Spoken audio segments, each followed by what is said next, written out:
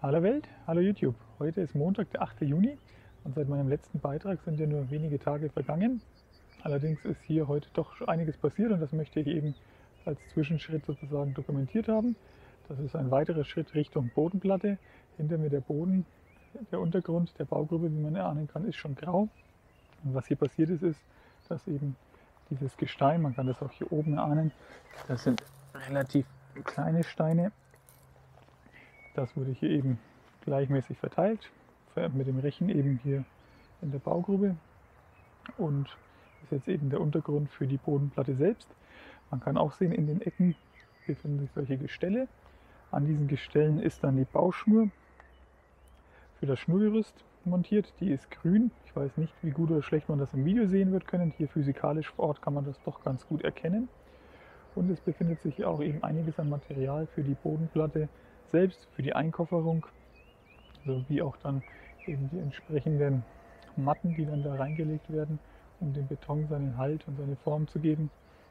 Und dementsprechend wird das jetzt in den nächsten Tagen eben weiter vorbereitet werden. Gegossen werden soll die Betonplatte jetzt nächste Woche und dann soll es in der übernächsten Woche eben mit dem Keller selbst weitergehen. Einer der nächsten Schritte, die im Rahmen der Arbeiten an der Bodenplatte erfolgen, werden, ist eben auch die sogenannte Erdung, der Potentialausgleich.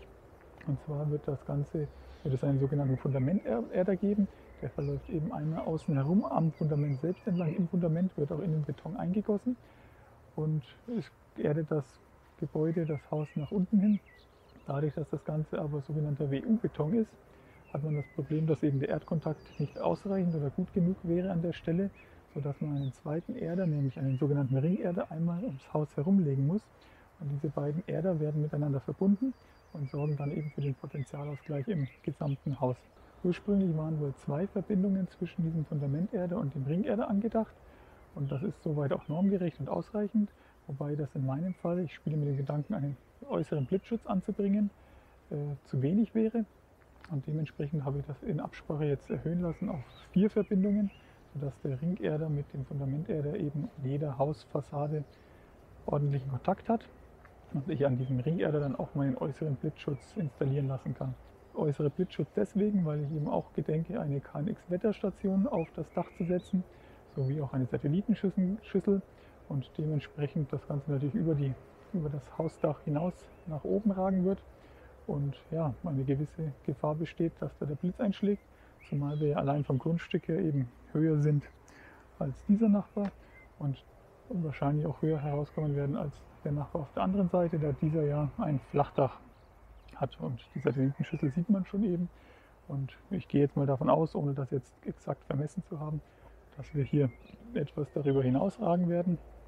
Und wir sind zwar jetzt nicht unbedingt das höchste Gebäude hier im gesamten Gebiet. Also es gibt auch da durchaus da drüben noch höhere Gebäude, aber Dennoch kann das natürlich nicht schaden, beziehungsweise kann insbesondere nicht schaden, sich diese Option offen zu halten.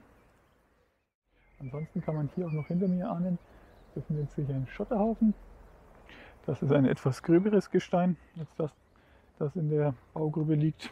Ich glaube 0 bis 32 oder so. Und das ist vermutlich die Schotterpackung, die sich hier für die Garageneinfahrt dann verwendet und angewendet werden soll.